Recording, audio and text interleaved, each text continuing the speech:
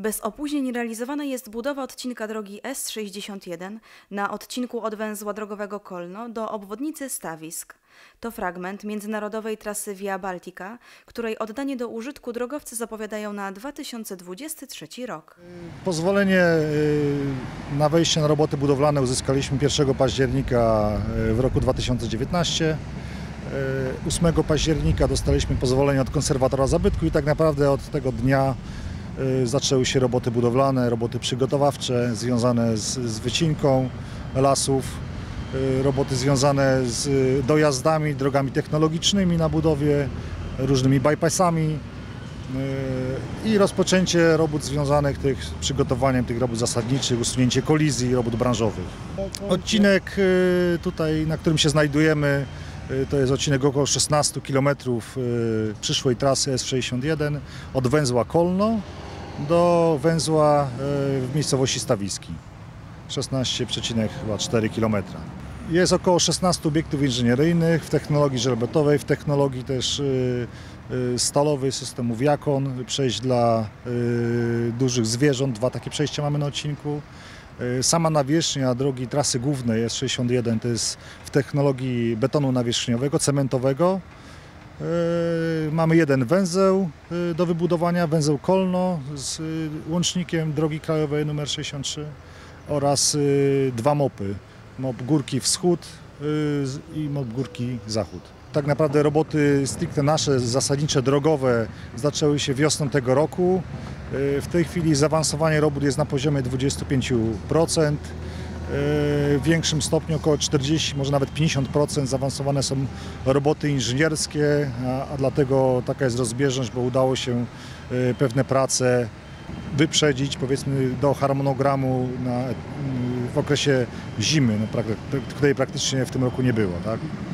Najbardziej skomplikowana jest budowa obiektów inżynierskich. Wiadomo, że kolejne odcinki budowanej trasy będą sukcesywnie włączane do ruchu.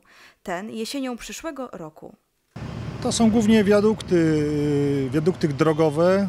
W drogach krzyżujących się mamy ich y, cztery oraz wiadukty w ciągu y, drogi S. Y, To są konstrukcje i z ustrojem zamkniętym, żelbetowe oraz mamy małe przejścia dla zwierzyny, przepusty ramowe, skrzynkowe. Rozważamy opcję włączenia tego ruchu na węźle Kolno. Jeszcze nie wiadomo w którym kierunku pójdzie, czy drogą powiatową, bo jest jeden taki wariant, albo drogą k- krajową w kierunku węzła, y, w kierunku Kolna, y, bo odcinek sąsiedni w kierunku Łomży dopiero dostanie prawdopodobnie pozwolenie na wejście na realizację robót około września, października. Także cały ruch po trasie tutaj Via Baltica prawdopodobnie będzie gdzieś w około roku 23. Nasz kontrakt na ten czas planujemy zakończyć w przyszłym roku w wakacje. Generalnie droga krajowa, równoległa, którą też przebudowujemy i po y, na około chyba 4 km w śladzie pójdzie przyszła droga klasy S, którą budujemy. No i tu głównie apel do kierowców o wyrozumiałość i ostrożność przy, przy, przy właśnie pojazdach budowy i ograniczenie trochę prędkości. To jest tylko odcinek 16 km.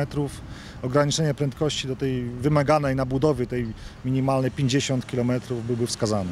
Koszt budowy 16-kilometrowego odcinka Via Baltica został oszacowany na ponad 288 milionów złotych. Postęp pracy jest e, zgodny z harmonogramem.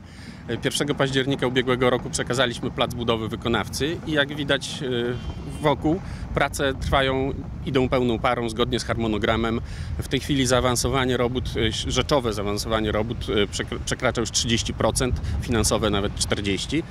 E, o- Cały odcinek ma być gotowy w trzecim kwartale przyszłego roku, stąd też takie tempo pracy. Jednym z najważniejszych odcinków budowanej trasy jest obwodnica Łomży wraz z mostem na Narwi. Z informacji Dyrekcji Dróg wynika, że rozpoczęcie budowy tego fragmentu Via Baltiki planowane jest jesienią tego roku. Inwestor oczekuje jeszcze na wydanie zezwolenia na realizację inwestycji drogowej.